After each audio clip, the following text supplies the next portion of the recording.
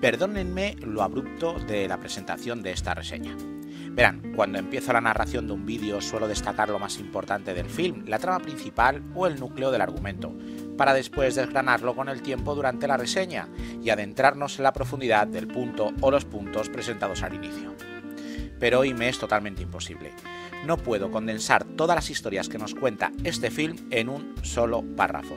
Así que solo diré, bienvenidos, bienvenidas, queridos amigos y amigas de Cinefilia, con todos ustedes, Network, una de las mejores películas de todos los tiempos. Verán, hay veces que una obra funciona como un espejo, donde la sociedad ve reflejadas sus miserias, sus hipocresías y su decadencia.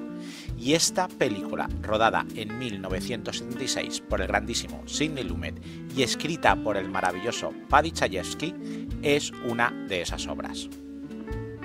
Y cuando digo que quizás sea una de las mejores historias del cine, no lo digo de forma gratuita para llamar vuestra curiosidad.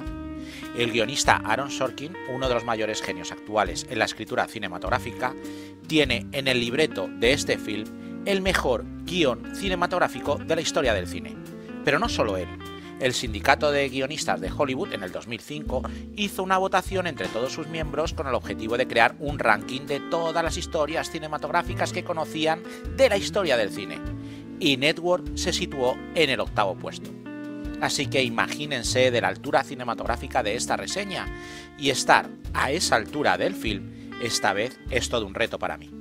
Así que en vez de empezar con la sinopsis, déjenme que les hable antes un poco del film, sus argumentos, sus tramas. Pero no te preocupes, no voy a desvelar nada de esta película, no realizaré ningún tipo de spoiler porque mi objetivo es que disfrutes de esta obra con toda su majestuosidad. La historia se enmarca en una cadena de comunicación con una red de emisoras radiofónicas y una televisión interestatal. A ver, si te pasa como a mí, el mundo que narra esta película me interesa más bien poco. La televisión y sus miserias nunca han sido un argumento que me enganche. Pero dejarme seguir.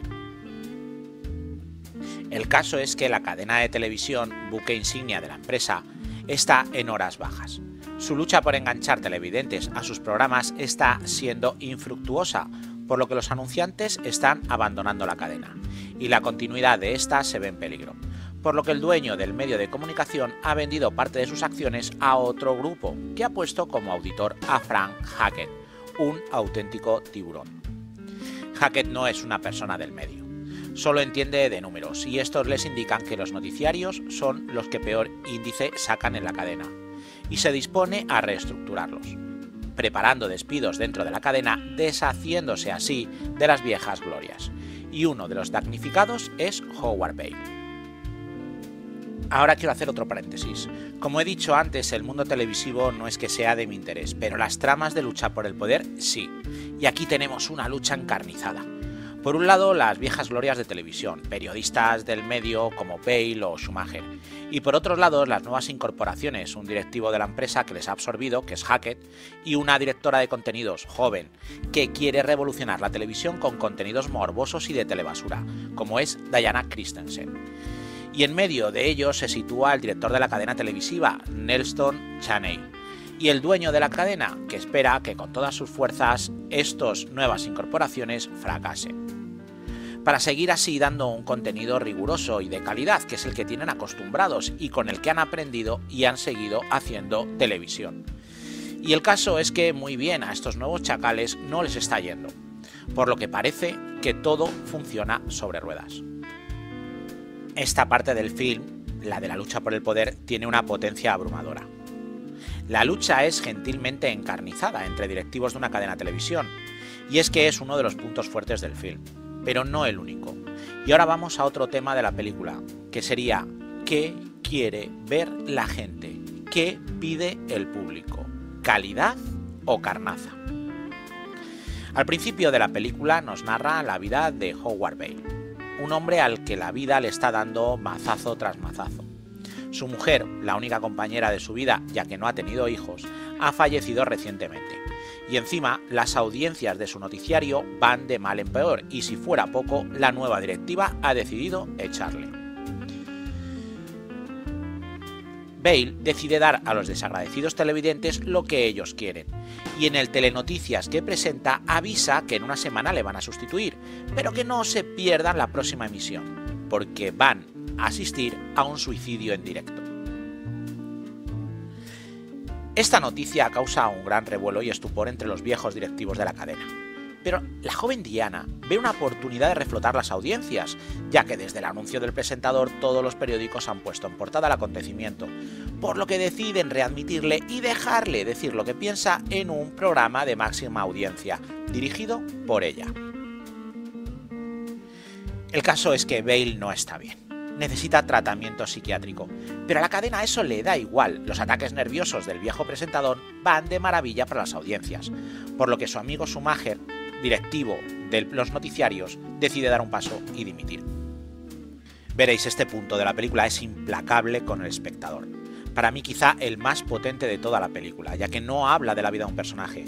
Este punto habla de nosotros, tanto como sociedad como individualmente. El público siempre busca el morbo. Entre la rigurosidad y la calidad o la carnaza, la sociedad siempre elige esto último. El guionista Chayefsky toma prestada una noticia real ocurrida en 1974, solo dos años antes del estreno de este film, cuando la presentadora de noticias, Christine Schobuk, se pegó un tiro en directo mientras que presentaba su programa. Ella misma narró qué era lo que el público demandaba. Y la verdad es que la pobre Christine no estaba nada equivocada, ya que todo el mundo buscó después esta cinta donde se veía tan luctuoso acto, como si de un acontecimiento de ficción se tratara. Pero no, era totalmente real. Y bueno, y para terminar con la historia, esta está aderezada con un romance entre el maduro Schumacher y la joven Diana, donde ésta se alimenta como un vampiro de la poca vida que le queda ya al viejo periodista. Decir que todos los actores están maravillosos es quedarse cortos. Pero si además pensamos que la interpretación del romance entre Holden y Danaway en realidad no se soportaban, esta actuación es simplemente para enmarcar. Y no es de extrañar que aquel año se llevara 10 nominaciones a los Oscar, y excepto la mejor película y el mejor director, que fueron tanto para Rocky como para Albison, el resto de los premios importantes fueron a parar en manos de este network. Veréis, se llevó mejor guion para Chayefsky, mejor actriz para Danaway, mejor actriz de reparto para Beatriz Straight, a pesar de que solamente aparece 5 minutos en toda la película, y como mejor actor principal, Peter Finch, que hay que decir que murió de un ataque al corazón antes de recoger el premio, por lo que se le otorgó post-mortem. Y bien, ¿dónde puedes ver esta película? Pues la tienes en Filmin. Pero de verdad, si te gusta el cine, si te encantan las películas de calidad, esta obra la tienes que tener en tu biblioteca. Da igual el formato, en DVD o en Blu-ray, pero sin esta joya de Sidney Lumet, tu filmoteca estará coja. Y ya voy a dar terminada esta extraña reseña que mezcló la sinopsis con pensamientos personales de la película, pero es que no he sabido otra manera de poder reseñarla. Y bueno, este film sirve para cerrar el ciclo de mi maestro Lumet y apenas he hablado de él, pero ¿hay algo mejor que la propia película hable del trabajo del director? Creo que no. Así que esperando que si no la has visto soluciones de inmediato ese problema, me despido, no sin antes desearte que seas muy feliz y que vivas el cine.